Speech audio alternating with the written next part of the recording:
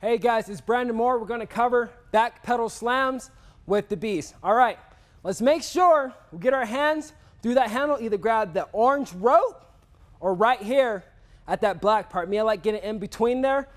Let's get started, get into our training zone and get after it, okay?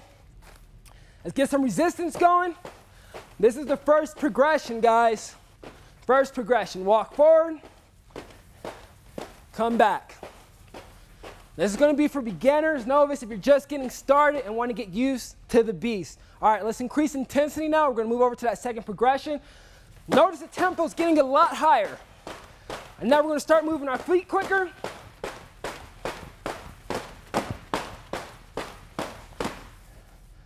You guys decide how hard you wanna work.